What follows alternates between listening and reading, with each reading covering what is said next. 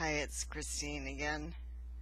I've finished off that other video and now I'm going to continue on. I basically left off talking about um, how I wanted to set some goals for myself. and when I decided I was not going to go on hospice, I'd rather stay home and fight and train and work my ass off and do whatever I have to do. I was supposed to go into a nursing home, I declined. I declined a catheter because um, I sit in this chair probably way too much, but I really First of all, I can't have general anesthesia.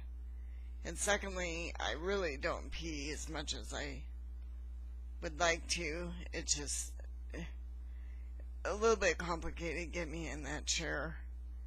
But you will see me in it more doing videos at night. But anyway, back to hospice. Um,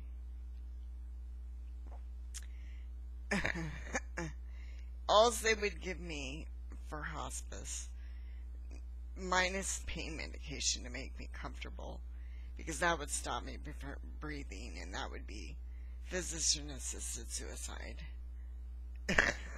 Death with dignity or whatever.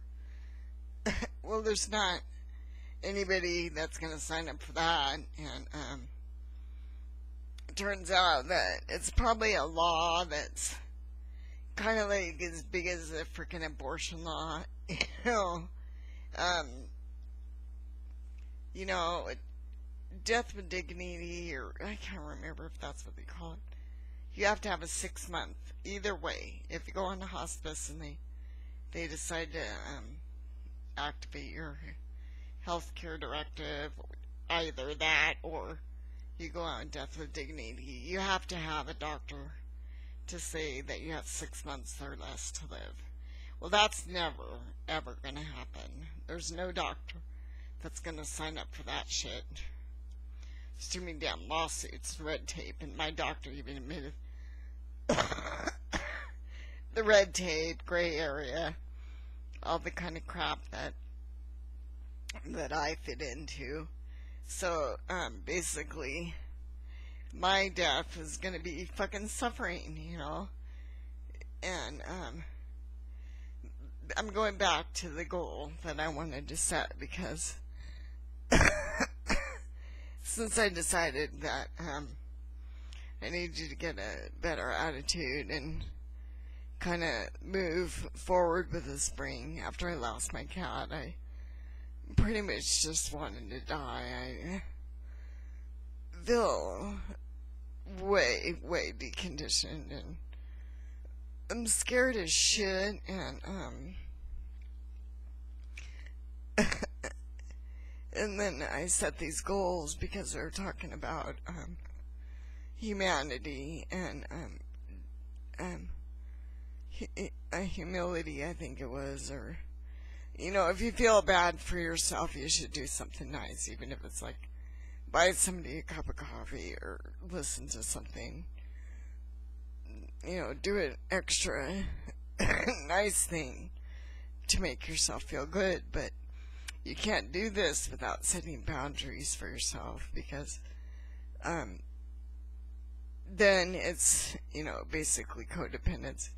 You're not taking care of yourself. So number one thing is, is you must take care of yourself first. well, I can't take care of myself, but all I have is you know, my head. And so, um, the very freaking next day, I ended up in the emergency room and I um, was there the whole day and then the next day I cut my toes so I had to get some stitches put in my toe. So, um, boy, I had to scramble for freaking positive attitude again, didn't I? so basically what my point being is about hospice, okay? I think human suffering sucks. Okay, I don't. I think if you know that you're dying, if you have AIDS, you have Alzheimer's, you know, why sit there and watch someone just, you know, friggin' cry out until their last breath? You know, I've seen people die. I've seen my dad die. I've seen my mom die. I was there when she died. I've seen my boyfriend die. He looked like a dead dog. I'm not kidding. They took him off his his drugs and stuff after being in the hospital, and um, they let him starve to death. and um, it's called the Terri Schiavo law. It was the same year that that that came out, where um, basically she was paralyzed and she was brain dead, and her, her husband divorced her, and um, he ended up getting the power of attorney back after 10 years and um, uh, did her wishes and let her die because her parents, up until that point, would go to the hospital and say, "Well, we we see somebody in there," you know, when she was really technically brain dead, and this went on for ten years for people that don't remember. It was probably back in 2004, something like that. Well, anyway, I got to see my boyfriend die. That sucks, okay? I've never seen anybody so scared in my life. He looked like a dead dog. And, you know, then my dad, you know, he's died of cancer, but pushing the freaking morphine button and screaming and crying, and I just don't understand it. I don't understand that. I don't get that. Is that just me? I think it's so wrong. Don't they just, I mean, I was talking to the neighbor kids about back in the old days, you know. I think that if somebody was suffering, that the man would probably take the gun and take whoever was suffering and put him out of their misery and they'd bury him or whatever they would do, you know. because there was nothing they could do. I mean, even animals do the same thing. You know, I mean, if a lion cub is paralyzed or attacked, the mother will walk away and leave the animal to die, you know.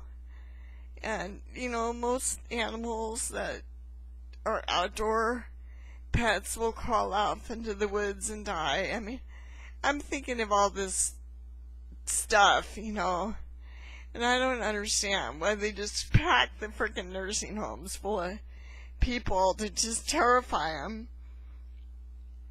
And most of them have already been there, done that, lost with their family members. I mean, even myself, you know, I've had to lose a lot of contact with. I mean, tomorrow's Easter. Do you think I got invited anywhere? Or do you think anything special is going to happen? Do you think I'm even going to eat an Easter egg? Probably not. Probably not, you know. Maybe I'm just feeling sorry for myself and I'm angry and I'm venting, but I just don't agree with human suffering.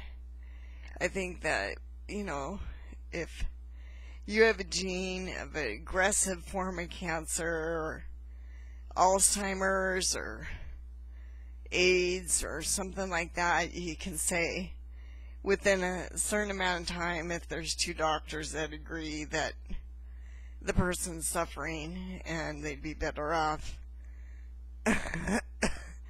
you know, pass away, that I think you should be able to activate that and die in your own home. But no, what the state does is they swoop in, they take all your fucking money, and they um, take all your assets, and um, they, um, shit, my phone's ringing crap. Anyway, Hold on a second.